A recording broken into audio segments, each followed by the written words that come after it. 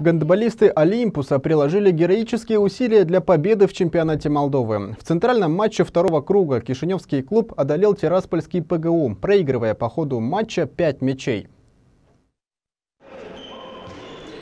Самые титулованные гонбольные клубы страны Кишиневский Олимпус и Тираспольский ПГУ сошли в столице в центральном матче второго круга молдавского чемпионата. Приднестровский клуб легко выиграл первый тайм и с такой же легкостью уступил преимущество в 5 мячей к финальному свиску. За две минуты до завершения матча гонболисты Олимпуса героическими усилиями сравняли счет, а за минуту до сирены забросили победный гол 36-35.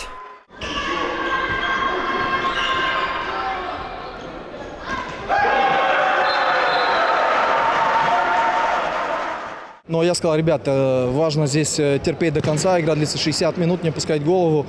И ребята услышали меня, и это приятно, потому что сегодня было очень много зрителей. Вы видели, что зрители соскучились по э, гандболу, потому что прошлый сезон, да, мы пропустили. Но в этом сезоне, несмотря на то, что мы сохраняем, так скажем, любительский статус, в отличие от тираспольской команды, э, мы показали достойную, хорошую игру и победили. Учитывая тот момент, что в первом кругу мы проиграли на выезде команде Тирасполя, конечно же, дома хотелось э, реабилитироваться, и сегодня нам э, удалось э, выиграть.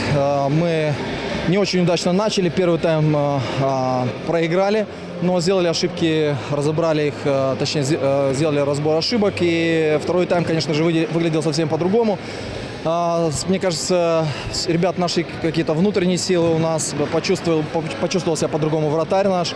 Замечательно играл правый край. Э, э, наши ветераны Сергей Назарко, Александр Перванчук. Э, Максим Плешко здорово сыграл, Журавлев Артем. То есть защита, все, все ребята были молодцы. После первой половины чемпионата в турнирной таблице двоевластия ПГУ и Олимпус делят первое и второе места, набрав в 10 турах по 18 очков. Победители и призеры гонбольного первенства определятся весной.